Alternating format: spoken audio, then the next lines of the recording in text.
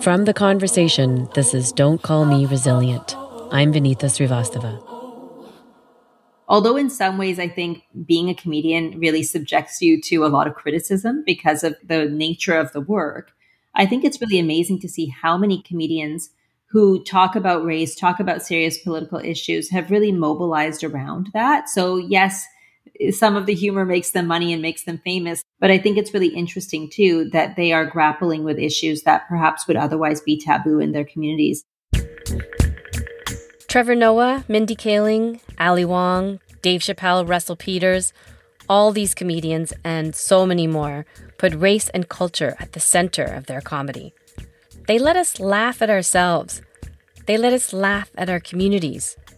Still, these can be sensitive topics. How do we draw the line between comedy and racism? And how far is too far?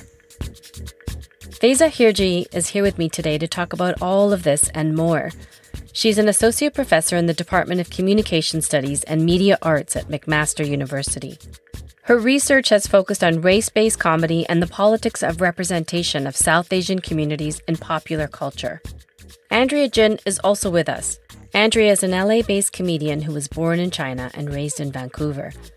This year, Andrea won a Juno Award for her comedy album, Grandma's Girl, and she recently made her late night TV debut on The Late Late Show with James Corden, who called her a brilliant stand up comedian. Welcome, Faiza and Andrea. Thanks for joining me. Thank you. Hi, thank you. Since this is an episode about humor, I wanted to start with some comedy. And Andrea, this is a clip of you on the Late Late Show. oh.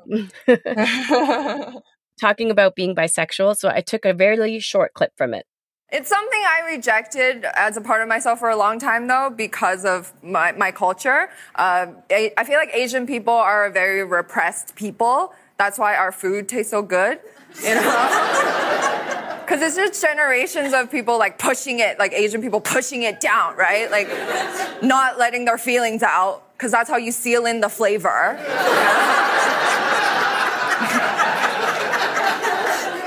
that's how you put soup into dumplings, okay? to me, that there's so much in that clip. You're talking about bisexuality, but you're also making fun of your culture. Do you ever worry about making fun of your culture? I think at the beginning, I never worried about that because I was just trying to introduce myself and like showcase who I am and and just get whatever's funniest about me and most unique about me out there, something that would like set me apart. Especially because like not a lot of people were watching me anyway, like as an amateur, you know. But as my audience grows, definitely something I think about more because what I say and what I do has more impact now.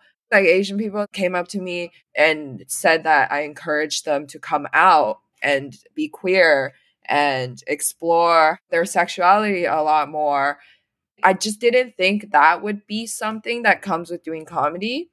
And I was just very surprised and and happy to hear that. You weren't thinking of yourself as a role model? Or not role model, but just like influential enough that I would impact someone's life in that way where they would change something as huge as, you know, like coming out. Do you ever feel worried about talking about your grandma in this context? it's funny, I never worry about it until people say like should should you be worried? And then i think wait should i be worried? And then i and then i like will talk to my grandma and i'll be like nah it's not a big deal. I do live with my grandparents and okay so we are immigrants and they do this thing where they always have to have 34 bags of rice at home. That's the number that makes them feel safe. Yeah. And it's not the little bags that you guys buy it's obvious right? through You're my like, stand-up like the kind of character she is like my grandparents and my mom, they're such characters that they just have to be showcased. And it's not up to them. it's not up to them. It's up to me. It's almost like my story to tell. So I, I'm not that worried. Do you know how she feels about it? Well, she doesn't speak English, so I don't think she knows anything that I say, but I th- I feel like if she were to know, she probably wouldn't be super happy. But nothing horrible. Like nothing she couldn't get over. I think she would just be like kind of embarrassed. Like but in a in a way where she'll just like giggle about it and she'll be like, "Oh, I can't believe you said that about us." And and like people are going to think you're mean to me. And I'm like, "Okay, but I'm not." So it's fine. All she's worried about would be probably perception of me. How are people going to think about you, not about her? Yeah, exactly. But that's comedy. That's stand up. Like, yeah, yeah you just mean thoughts. so, Faiza, you heard the laughter in that clip. What can laughing together about race and culture do for us? Well, I think when it's something like the clip you just played from Andrea, it can really create a sense of community and validation. So, a sense that somebody else has these experiences that I've had and they can put it into a funny anecdote. So, for many of us, the cultural characteristics that have defined us can sometimes be a source of shame, I think. And so when you find somebody who can turn this into a funny story, make it into something relatable, I think that that can really create a sense of affirmation. And so that's the very positive side of it. It's not always necessarily positive, but in the example that you gave of Andrea's work, I think it does have that effect. But in the work of somebody like Russell Peters, I think a lot of his appeal, especially to South Asian Canadians, has been that ability for him to mine the Indian accents and the funny characteristics and make that into something humorous and something relatable. And don't think for one minute that we don't know that you're mocking us when we're not around. It's an accent. We're not deaf.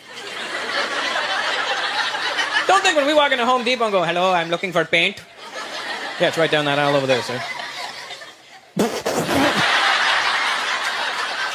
hey, Jim, did you hear that guy? He's looking for paint. Paint. Paint. I also think of the Palestinian Canadian comedian Eman El-Husseini. I'm not Palestinian, but when she cracks jokes about her body hair, I think that these are all very relatable and take anecdotes that could be in some way hurtful some of us, especially South Asians, don't feel great at times about being teased about our body hair, for instance, or being teased about still being single at a certain age. But it makes it relatable and it makes it funny and it makes it a shared bonding kind of experience. So that's the positive side. Because I swear to God, sometimes I feel like you could describe an Arab woman's life in two words marriage and waxing. Like that's it. We're hairy white people. I'm sorry. I'm sorry. I like the the idea that you're talking about, which is this idea of insider, you know, this insider comedy, but also outsider. The thing, uh, Andrea, that I really appreciate about what you do is it's this universality that you bring to it, even though it's very specific. It's also, I think, everybody can relate to those kinds of ideas of like a quirky family member. But what does performing this type of comedy do for you as a stand up comic? I think it lets me appreciate everything a lot more the good and the bad. As a child of immigrant in an immigrant household, there's a lot of pros and cons. Like, I feel like as you're living through it, you feel like, oh, why is this happening to me? Why is my life so different? Why can't I just be some like white kid that gets delivered like candy and pop and just like I can watch TV, you know? Why can't I just have a normal like American life? Why do I have to do all these chores and paperwork and translate for my family? And you know, all these like things that immigrant kids have to do for their families. But in hindsight, you know, it makes us unique. It makes us different. It builds character. It has been the source of all of my creative verse, like in writing, in stand up, in projects that I, I'm involved in. So it's helped me come to appreciate how different I grew up. So I, I love that. I used to think it was something that happened to me and it's unfair. And now I look at it like it, it was such a gift Mm. Do you remember when you started thinking that comedy might be a good way to talk about your life? I was so drawn to stand up and comedy. I loved all of Will Ferrell's movies. I thought he was so funny. Conan O'Brien was so funny. And I watched Stephen Colbert and like I watched stand up.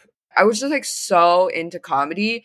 I just wanted to do it so badly that it didn't dawn on me that I would just be sharing my life so openly when I'm on stage. I think like just wanting to be in comedy and doing comedy overshadowed the fact that I'm actually pretty private of a person and I didn't realize that I was I would just be like sh- oversharing on such a scale like this. I didn't anticipate like oh everyone's going to know everything about me, which is yeah, something I'm still getting used to. Do you think about who your audiences are? Like who are you doing this comedy for? I think I need to think about things a lot more before I do them, but I I don't until I it's finished already. I think anyone that comes up to me and my comedy has had an impact on them and they felt strongly enough to tell me in such a like a sincere and beautiful way, I just it's for them because it's people from all walks of life and sometimes it'll be people that surprise me. I'm like, "Oh, I can't believe you related to that." They just look like someone that wouldn't relate to me at all from a completely different background but that's something that's so beautiful to me is that we're not so different all of us. Faiza, in your research, you talk about how Russell Peters in his comedy makes fun of his own communities, which is mainly South Asian, but also other cultures besides his own, and how you say that he believes that this is a good way for audiences to get acquainted with new cultures. Yeah, and I think this is where I struggle a little bit with the whole idea of, of, comedy as humor when it involves race. Not because I don't laugh, I do, but then I wonder why I'm laughing. I think the challenge I've always had with Russell Peters' work, and it was part of the reason why I, I wrote this article, is because I can completely relate to all of the South Asian jokes, although even those I sometimes wonder we're perpetuating stere- stereotypes. But still, I think, you know, many times we'll say, if we're laughing at ourselves, then that's okay. But then there'll be times where he'll assume a Chinese accent, for instance, or he'll bring up a stereotype about Black people.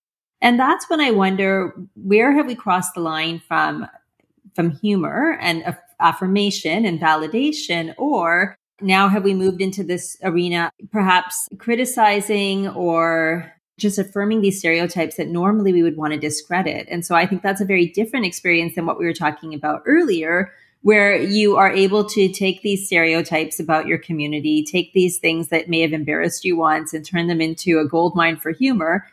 Now you're actually perhaps targeting another group or making assumptions about another group. And, and Russell Peters and other comedians have excused this by saying, I grew up with this community, in his case, Brampton. And so he'll say, I know these communities really well, that, you know, it's, it's like they're my own. But I do wonder at what point it's not okay anymore to say, well, it's all right to laugh at this community because I consider them my own.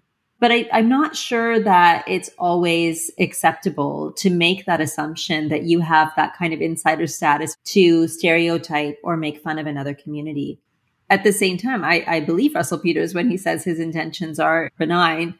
But I do have a lot of discomfort in terms of what is actually the source of the laughter when I, as a person of South Asian descent, am sitting in an audience and Russell Peters or another comedian, I'm picking on Russell Peters, but there's plenty of examples like him, will put on an accent from another group and everybody laughs. What is that saying? Is that different than when somebody calls out a racist insult to a Chinese a person who appears to be Chinese or Japanese or or some different identity from what you are on the street.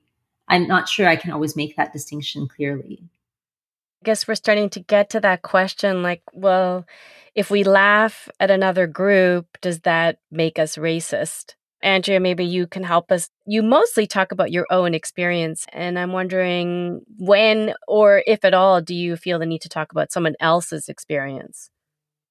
Right. I feel like I've been very meticulous about making sure that I'm only talking about myself and my own experience and that my experiences don't, it's not a blanket of all Chinese experiences. I talk about this with other comedians, and basically, because you know, I have a lot to mine from my family. I'm able to have a lot of material uh, about my family and only my family. But not everyone has that, and and even at one point, I'll run out too. You know, so at the point of when I run out about things to say about myself, we're to have to go outside of ourselves. Like as comedians, you know, is social commentary. All the biggest comedians in the world, they eventually stop talking about themselves and they comment on the news and like, you know, all these big topics that could be controversial because it's not about them, it's about other groups of people. It is honestly such a gray area because I've definitely seen it be fine and I've definitely seen it be not fine at all. Comedy is weird because everyone's skill set is different. Like sometimes a clip from a complete amateur talking about something as sensitive as race and completely fumbling it and missing the point and just being completely like racist or tone deaf. That happens a lot for sure. And then we point to it and we say, oh, you know, comedy shouldn't be this, like you shouldn't do that. But it's like an amateur handling it. But that's where we are now is that like anyone can upload a clip and then, you know, attention will be brought onto that clip and then everyone will think, oh, that's comedy. But it's like, no, comedy at a level of a professional, I feel like most of them will be able to handle sensitive topics in a professional way where it's not tone deaf, where it's not going to be hurting groups of people. But, you know, professionals mess up too. They're not perfect. So, yeah, there will be slip ups. It's such a difficult topic for sure. You mentioned that you have these conversations with your fellow comics and I guess you you must have the conversations about how far is too far. Like you have your own set of personal guidelines, which I think you said you stick with what's in your realm. Yeah, I mean for now because of the way I grew up, I'm very sensitive to how other people feel. I'm very empathetic and I never want to overstep and make anyone feel bad, but that's just me. I feel like most comedians don't have that kind of empathy. And so a lot of comedians like, they don't care. They're like, "Okay, I'm going to say what I'm going to say. It's my jokes. If they don't like it, they can whatever." I look at comedians like Ali Wong yeah who has three specials and they're all just basically talking about her own life and her life is like ever changing yes she just got divorced. She had a secret show in la and i went to it. She's working on her new hour and it's like all just her talking about her divorce. And so i mean it's possible to just continue talking about yourself but you know she she definitely like her past work like has featured commentary on other race races and groups. So I just think it's inevitable because we live in a world with each other and it's impossible to just not talk about each other. I think it's just to keep in mind to do it delicately, especially if your audience is so huge. I just think like there's a responsibility to try and be delicate. Faiza, what do you think? Uh, can we talk about accents? Because I think that's one of those tricky lines. A lot of comics use them for impact. I know that you've written about Apu and, well, you talked about Russell Peters too. I think for me, this is where I really struggle a bit with comedians like Russell Peters. So the assumption of the Chinese accent, because having grown up in Vancouver, I have heard that assumed so many times as a way to mock a group.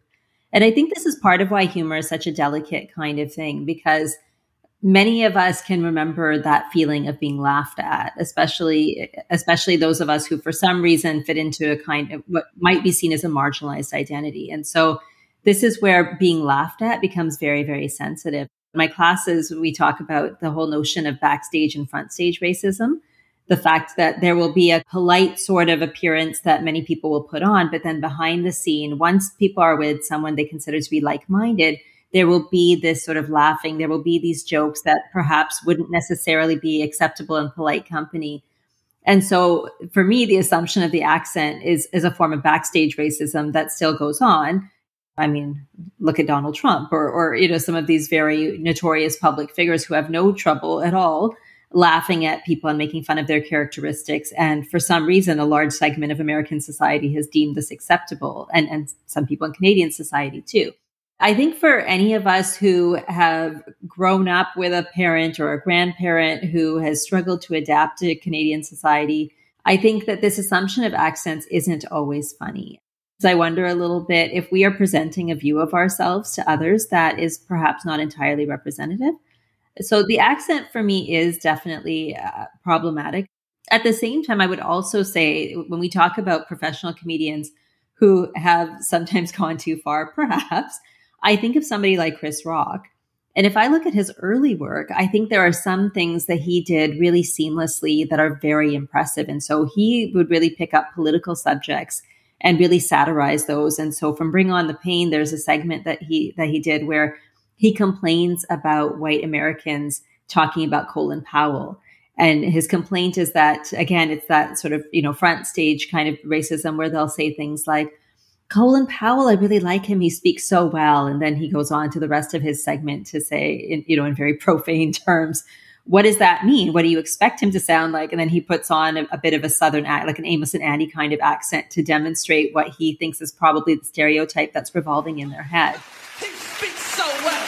What voice were you looking to come out of his mouth? What the did you expect me to sound like? I'm gonna drop me a bomb today. I'll be prez old oh, dead.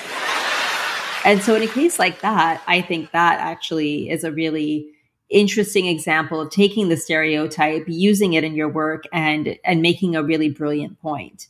I think there are other aspects of Chris Rock's work that are much more problematic, but that's one where I think the accent is used to good effect to really practice a kind of subversion, a kind of political subversion. And this is something that you can do with comedy that I think you can't do quite as effectively as, let's say, a serious newscaster or somebody like me who can write academic papers and deliver lectures to my class. But let's be honest, are most people more likely to remember that serious lecture or are they more likely to remember that in five minutes of satire that chris rock took somebody down completely on this stage they're more likely to remember the entertainment factor mm-hmm basically we're saying if we laugh with a comedian, it means that we're along for the ride with whatever joke they're delivering. Yeah, I feel like it depends on the joke, but a lot of times I feel like when you're laughing, you're entering someone else's worldview and you're entering what they th- believe is funny and interesting. And so that's kind of a win, right? For the thing that they're talking about it's acceptance in a way. Hmm. I feel like we've come so far. I mean, you know, Faiza, you've been talking about Russell Peters. I feel like now we're in a really different era where, you know, comedy has in, in many ways brought so many serious issues right to the fore, as you say. You wrote a piece in the conversation where you talk about Mindy Kaling's work and her recent sitcom, Never Have I Ever. And you say that it gives you some excitement about, you know, the idea about representation and race and comedy. Can you tell us a little bit about that? I love the fact that Mindy Kaling has put together this show. I don't know how other audience members feel, but I feel as though it's a relatable show, even if you come from a different kind of cultural background, from somebody like Mindy Kaling um, or from the, the characters who are of South Asian descent. This is Pandit Raja Krishnan but everyone calls him Pandit Raj. He's the community spiritual leader and also really knows how to work a room. Now, everybody, repeat after me. Om Namo Pratpate, Namo Ganapate, Namo Pramatapate, just kidding. we'll do something easier. I like Pandit Raj. So it's really a coming of age story. It's a story about a young woman coming to terms with some very sad things that have happened in her life, coming to terms with intergenerational conflict, intercultural conflict, but then also dealing with the same kind of stories I think that we saw in shows like My So Called Life, where you have this young, awkward teen, wise beyond her years in some ways, really naive in others wanting to have a boyfriend, wanting to fit in, trying to sort out all of the tangled emotions that come with being a teenager. And I think it's amazing that we can have this story told from the perspective of this young woman of South Asian descent. But in some ways, it doesn't necessarily matter that she's of South Asian descent. I think it really adds to the voices that are out there. And I think it's great that we can have these stories now and they don't always have to star somebody who looks like Claire Danes or, you know, some other kind of teen actor who typically was appearing in, in these sort of shows in the 90s and early 2000s. But I think it just adds to the richness now of what we can see in terms of representation. And I think it's really nice too behind the scenes to see all of these actors supporting one another and building community too. You know, people like Lilly Singh, the star of Never Have I Ever, the star of Ms. Marvel, all of them kind of coming together and in some ways building a little bit of a critical mass to say that, you know, we're here and we support one another and we're not going anywhere. We're all going to support each other's projects and fight for representation. Although in some ways, I think being a comedian really subjects you to a lot of criticism because of the nature of the work. I think it's really amazing to see how many comedians who talk about race, talk about serious political issues, have really mobilized around that. So, yes, some of the humor makes them money and makes them famous. But I think it's really interesting too that they are grappling with issues that perhaps would otherwise be taboo in their communities. If you don't have those voices out there representing those communities, taking these taboo issues and turning them into sources of humor and dialogue then you're going to continue to have that kind of repression that Andrea jokingly talked about, but we all know is real in a number of communities for sure. Guys, I have to admit that I tried to keep that show away from my kid. Someone said, You can't let your kid watch that. Never have I ever. It's like, you know, all about sex or whatever it was. Then I turned on Netflix and I see all of the episodes have been watched. uh-huh. like, okay, well, we're not going to keep this away from them. They're going to watch it. And I asked my 10 year old, What do you want to do for your birthday? And they said, Watch Saturday Night Live. So, you know, there's things that makes me really actually happy because I was playing Andrea, I was playing your album in my house with my partner they're listening and then my kids are listening at the same time and i'm like pressing pause at certain, at certain points. But you know it, aside from the things that i'm like worried as a mom i'm actually really happy that they have these you know you and other role models that they can enjoy and feel represented and feel excited by. What makes you andrea excited when it comes to the future of comedy? Yeah i think like yeah, it adds to what you you you're both talking about is like how we're seeing different perspectives. I love Never Have I Ever. I can completely see this, you know, come out 10 years ago with like a, a fully white cast, like, and, you know, be that. And then we're okay with that. But then I'm so glad that it's not. And it's South Asian in a way that's so relatable all at the same time where it's just like a coming of age story, but you see so deeply into South Asian culture as well. So it's just proof that, yeah, it doesn't have to be that one perspective. It doesn't have to be done in a way that like is only relatable to one group. We see that with the audience and popularity. It's such a huge hit. And I'm sure it's not only being carried by the South Asian community.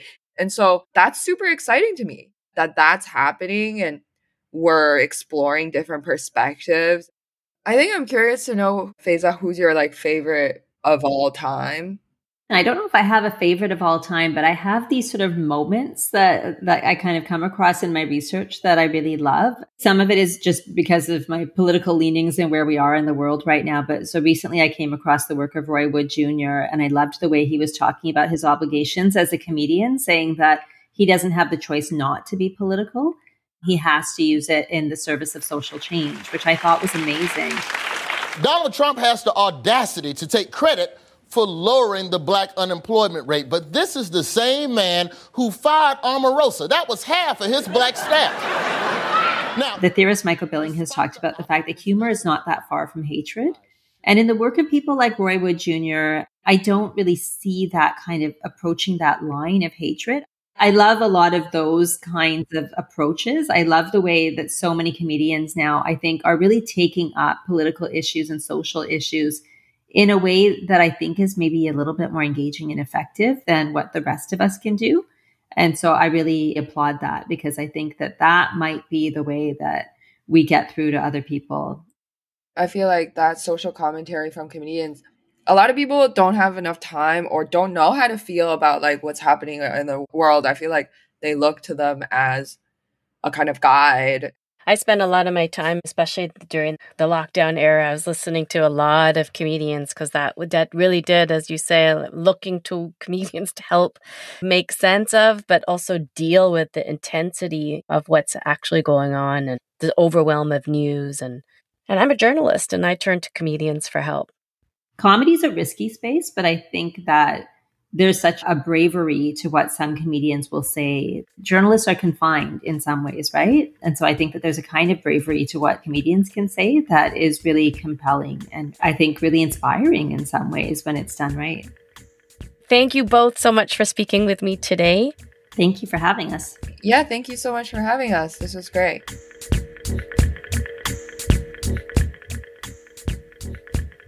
That's it for this episode of Don't Call Me Resilient. And in fact, that's it for this season. Thank you to Faiza Hirji and Andrea Jin for their time and for sharing some of their thoughts on race and comedy.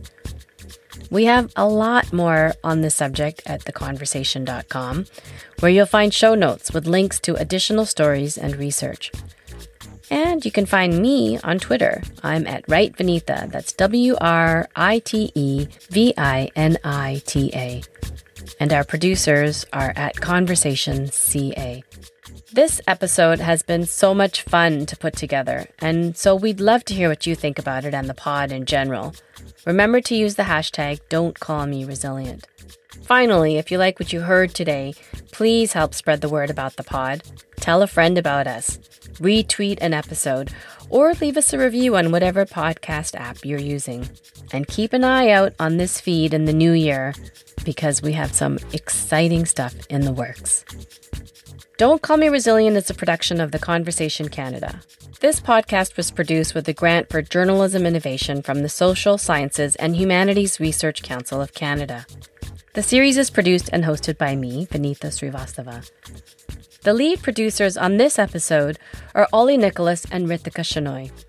Danielle Piper is also a producer. Rehmatullah Sheikh is our audio editor. Our consulting producer is Jennifer Moroz. Ateqah Khaki heads up our marketing and visual innovation, and Scott White is the CEO of The Conversation Canada. And if you're wondering who performed and wrote the music we use on the pod, that's the amazing Zaki Ibrahim. The track is called Something in the Water. Baby,